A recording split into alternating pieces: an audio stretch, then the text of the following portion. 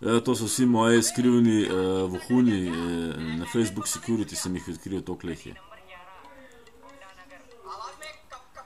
In teh pizdetov se sploh ne da blokirati, to so vohuni. Z lažnimi profili. Jih bomo šli poje preverjati, zdaj da nimam časa. Imamo nekaj za delati. No, v redu. Tokle pizdetov imamo tlele. Gremo blokirati. Blokirati. Blok. Aha. No, vidiš, enega smo že. Pa tako naprej, ne? Nima, če se tole da blokirati. Se da.